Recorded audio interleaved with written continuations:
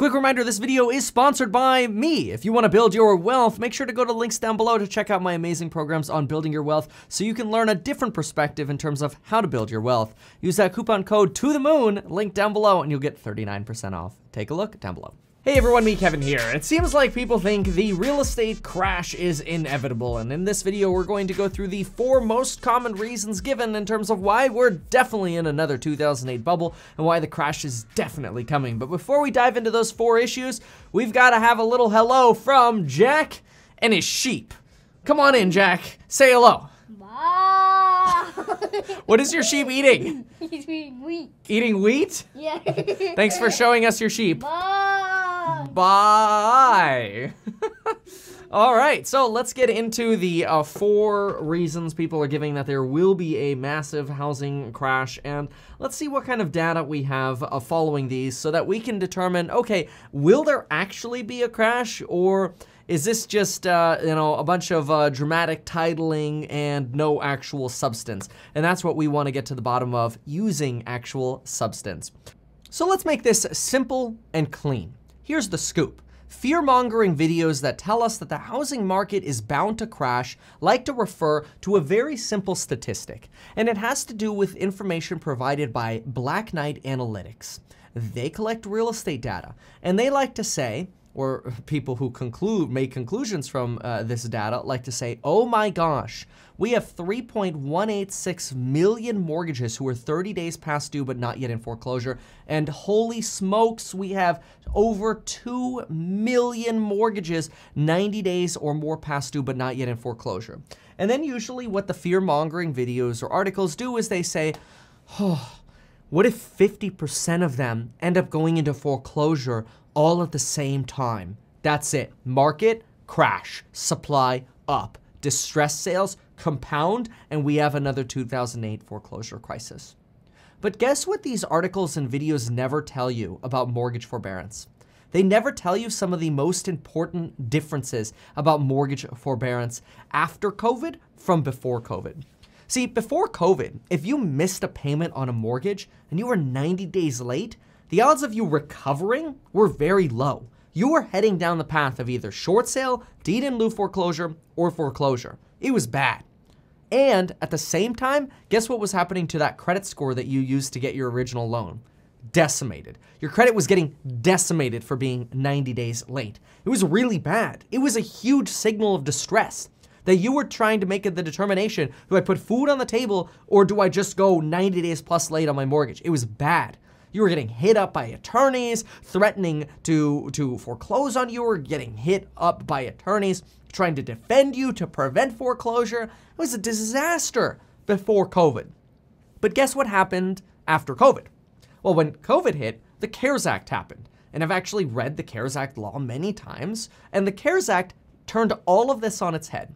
First, it said anybody who wants mortgage forbearance can have it. We won't even check your data. We won't even check if you actually have a hardship. Kevin, you say you have a hardship? No problem. Here's mortgage forbearance. And don't worry about your credit score. For the next 12 to 15 months that you take mortgage forbearance and you just don't make your payment, take that money and go YOLO it on some GameStop call options. We don't care what you do with it because we're not checking. We won't, we will make sure that your credit does not get affected. Now, there have been some temporary fluctuations in credit scores with notations, but those tend to go away over time. But in the long, and, and the long and short of it is, people's credit scores aren't getting decimated from taking mortgage forbearance. They're not, they're actually still showing as current when lenders pull their credit, which is incredible. So that means somebody could literally have not paid their bills on their mortgage for 12 months and they would still technically show up as current to the reporting agencies. Now, something else that's really interesting is that while you're in forbearance, you can't refinance. So while real estate prices have been going up, you actually can't take on more debt. So it's not like real estate prices are going up, people are refinancing like crazy and taking out a bunch more debt because they can't. If they're in forbearance, they're stuck. You can't get a new loan when you're in forbearance. You can't get a home equity line of credit when you're in forbearance. So you've actually got people who are potentially just opting into forbearance not because they need to, but because why not? It's basically free stimulus money. If you have to repay this at the end of your loan or in future payments, whatever, you were able to YOLO into the stock market or spend money on something else in the meantime. And again, this isn't to say that everybody does this. It's really just to say that we don't know how many people are doing this and are not doing this. So for anybody to say, that's it, 50% of people in forbearance are going into foreclosure, where are you pulling that number out when we have this optional program for people to enroll in?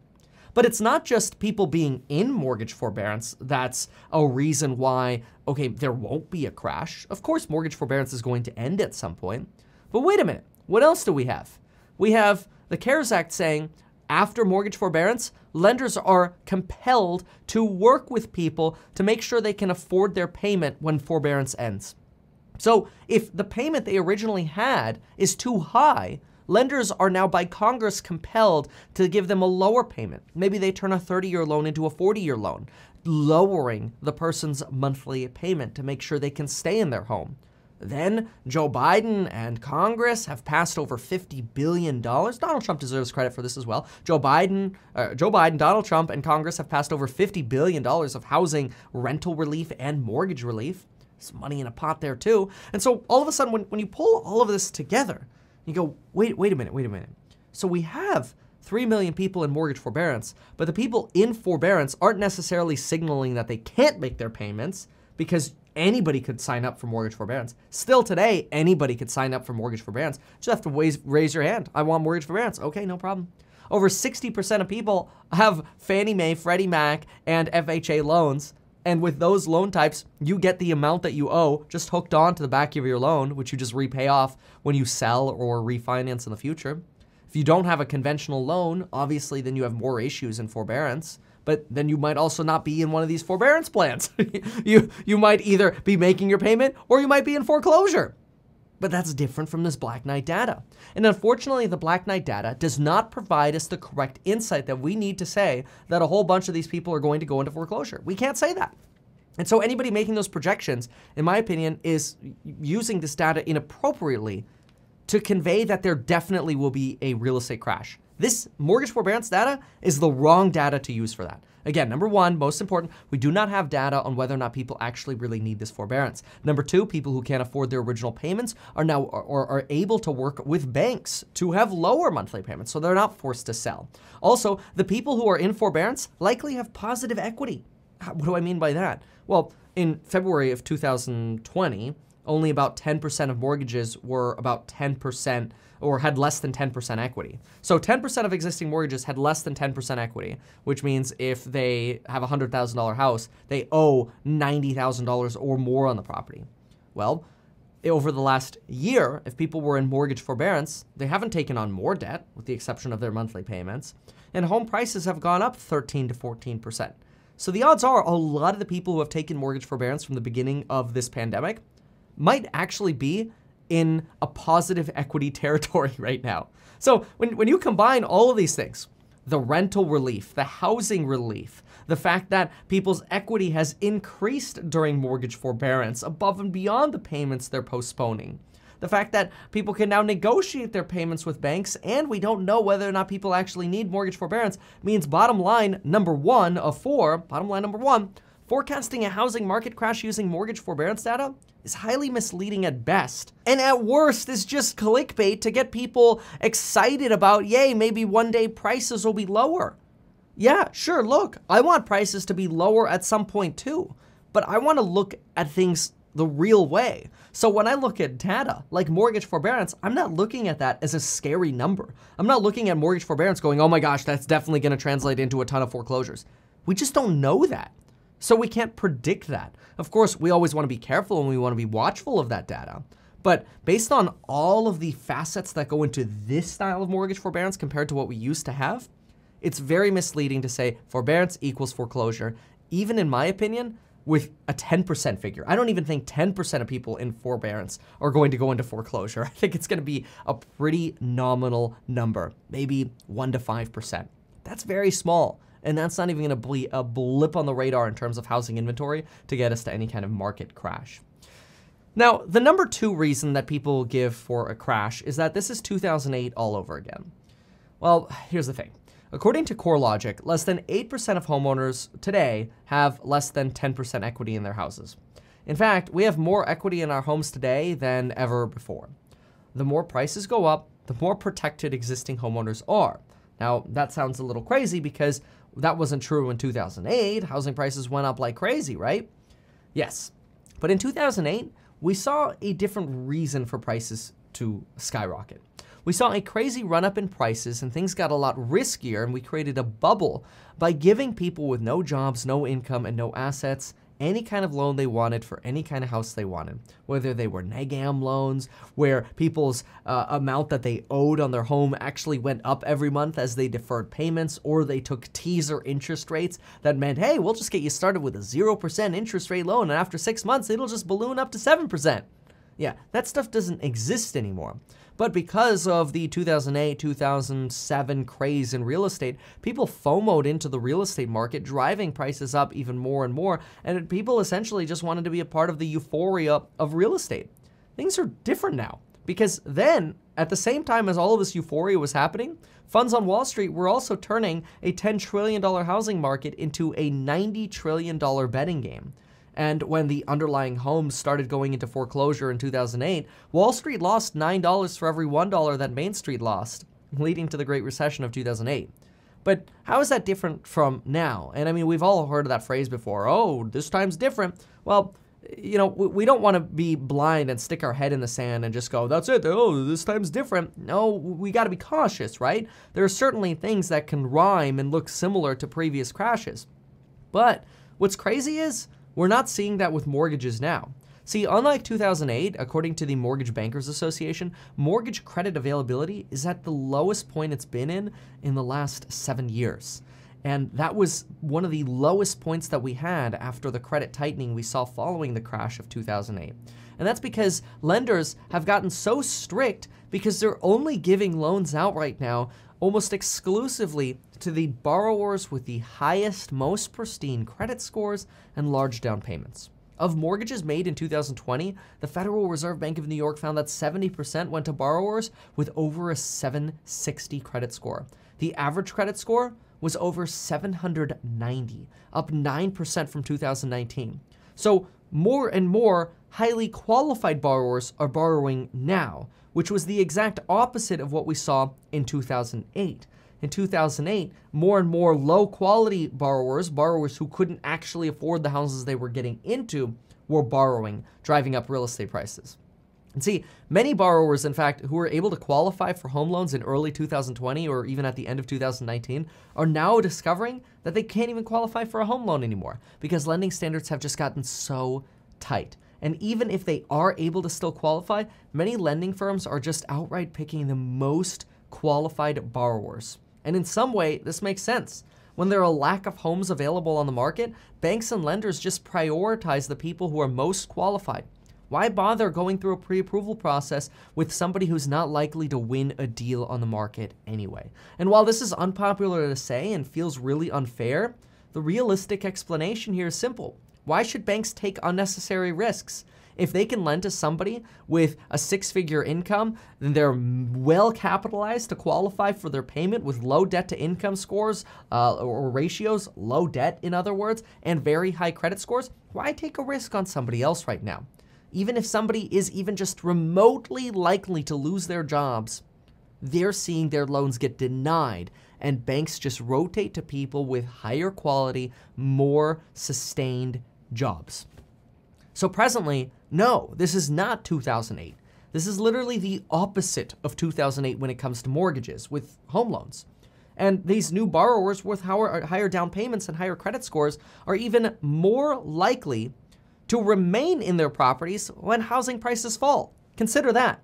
You give a loan to somebody who already shouldn't be qualifying for the loan, who's already got damaged credit. When housing prices fall, they're more likely to walk away from a home than somebody who has a six figure plus income, who maybe has a dual six figure income, who has an 800 plus credit score. Even if housing prices fall, there's no margin call on houses. You get a 30 year fixed rate loan, there's no margin call. So you just ride it out and keep making your payment. Obviously, unless you lose your job, but then what do we have? Well, we get handouts like a mortgage forbearance that we're seeing now. So is this 2008 all over again? Well, based on the government's intervention and banks tightening credit standards so far, the answer is no. When credit scores are going up, down payments are going up, and loan standards are going up, we're just seeing the opposite of 2008 happening. So, no, to me, this is not another 2008. And the data speaks for itself. And that's the important thing that I really want to drive home in this video is when we hear mortgage forbearance data, we have to think how mortgage forbearance is different today than it used to be. We have to think about how anybody can apply for it and how we don't have data about how many people in mortgage forbearance actually even need it. But even if they did, now we have a housing bailout fund, so anybody at risk of homelessness can apply to basically get a bailout from the government. That's different from 2008. It's also very different to see that people are much more qualified today than they were in 2008. It's the polar opposite. It's just basically the rich getting richer again. And it's unfortunate to say that, but that's the observation to make here. Now, what is a third reason the real estate market might crash? Well, a third reason is that interest rates would skyrocket and then our housing market might collapse. And this is true. Yeah, if real estate interest rates skyrocketed, well, that would be very concerning to the real estate market. If real estate interest rates skyrocket because, let's say, the Federal Reserve boosts rates faster than expected because all of a sudden inflation is coming, the real estate market will adjust downward immediately. Usually, when we see a 1% increase in interest rates, we see prices fall by about 10%. And this happened in 2018 when Jerome Powell increased interest rates dramatically and quickly. Housing mortgage interest rates increased about 1.2%, and prices promptly fell 12 to 13%. And this is a real concern, and it's one that we should pay attention to. Although presently it seems like the likelihood of rates rising meaningfully over the next two years is kind of low. See, right now, the 10 year treasury has kind of shot up to 1.7, and it's made people very nervous in the stock market. We expect that the 10 year treasury will settle around 1.8 to 2%, which tends to correspond to mortgage rates of around 3.5% for a 30 year loan. But we're already expecting this. And even if mortgage rates go to 3.5%, so far, we're not expecting to see any impact to real estate pricing because housing inventory keeps falling lower and lower and lower to the point where there is no impact from this increase in rates of about half percent that we've seen over the last few months as bond yields have shot up.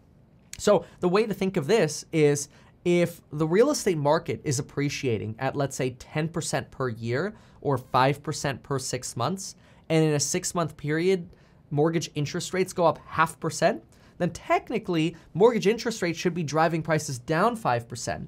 But if the market is appreciating at 5% over six months, it offsets that, and you kind of still have a market with high prices and prices that haven't fallen. So you really have this tug of war happening between interest rates. And right now, we have no real expectation that we are going to see interest rates go to anything crazy like 4.5 or 5% anytime soon, like we saw in 2018, which definitely hurt the market. Because in 2018, we also had more inventory available on the market, and those higher rates really hurt us big time. But we're not seeing that right now. In fact, so far, even though rates have started to tick up a little bit, pending sales are still hitting new records. If we look at just the beginning of 2021, we pull this up from Redfin's data center, we'll see right here that pending sales in all Redfin metros, pending sales right here, are jumping substantially here at the beginning of 2021.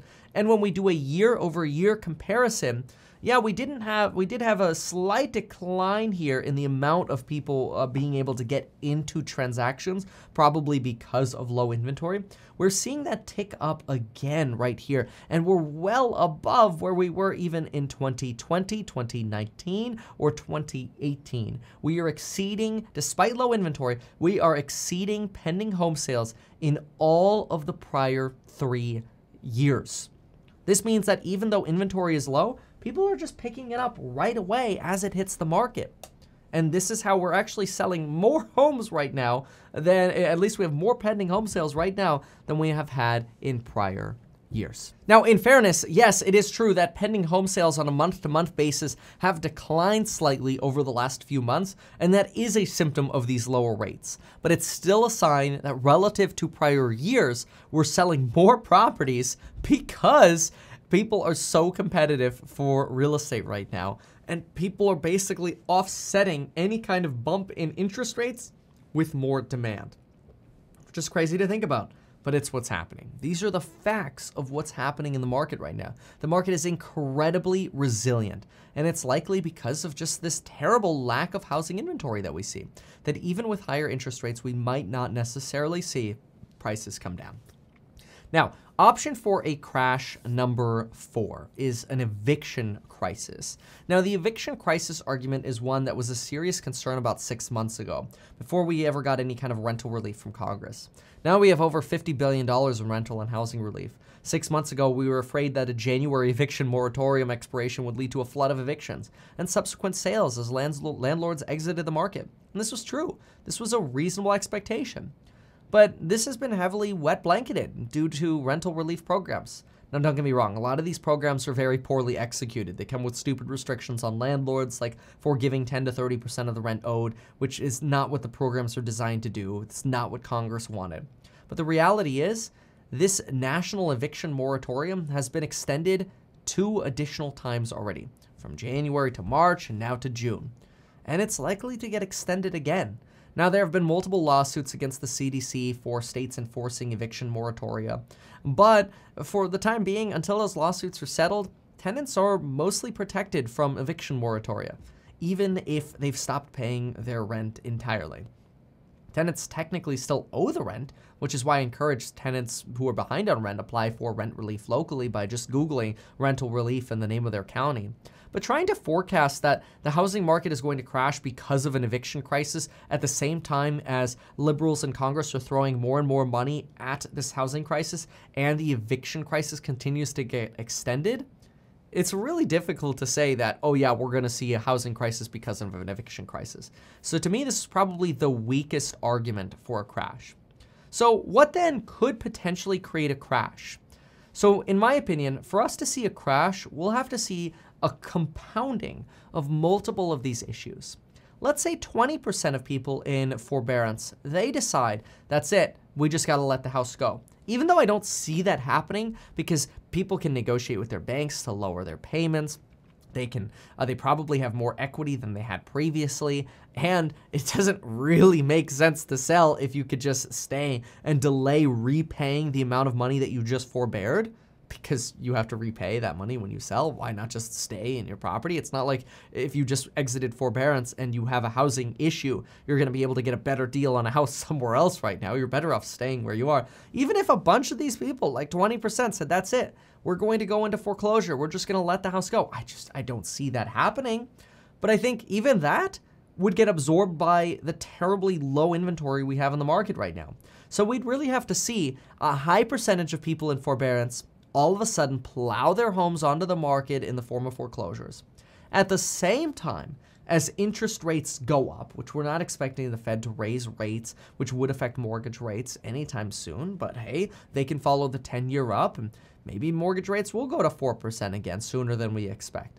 But the crazy reality is, even if more people went into foreclosure out of forbearance, which we don't think is going to happen, and rates went up, lenders could just literally turn the dial again and say, okay, we're open to more mortgage borrowers now than we previously were, loosening credit standards again to basically refill the pipeline of people who can qualify for homes. Now, there would be a question of, okay, are we loosening too much and potentially creating a crisis in the future? But it's quite likely that any kind of new demand that comes from a foreclosure crisis or eviction crisis, which I'm just not seeing, it's very likely that those houses or homes will just get absorbed by people being able to qualify for homes finally, people being able to buy these homes finally, and potentially mortgage standards actually getting reduced so more people are in the market to buy. Bottom line, out of all of this, I don't see it. And when we look at the actual data with, with a critical mindset, we start thinking and realizing, yeah, maybe there won't be a crisis. Now, do I think that at some point in the future there's going to be a crisis? Of course, at some point in the future there's going to be a crash again. But do I think it's really coming soon? Not really. And so anytime I see these mortgage crash or mortgage crisis videos or housing crash videos, I watch them and I think to myself, what are they seeing that I'm not? But unfortunately, I'm not getting any kind of real detailed analysis. What I'm getting are a bunch of opinions that, oh, that's it. 50% of people in forbearance, they're going to end up going into foreclosure. And if that happens, we'll have so much more inventory. Well, how about the fact that that inventory, even if that were to happen, could get absorbed? What about the fact that people are more qualified today than ever? And even if we just loosened a little bit, we'd have a flood of new buyers who'd be able to absorb that inventory. Is Congress just all of a sudden going to give up on the housing uh, and rent relief programs? I don't see it. And that's the big bottom line from here. I don't see it, and hopefully this video breaks down why I don't see it. Thank you so much for watching, and folks, we'll see you in the next one.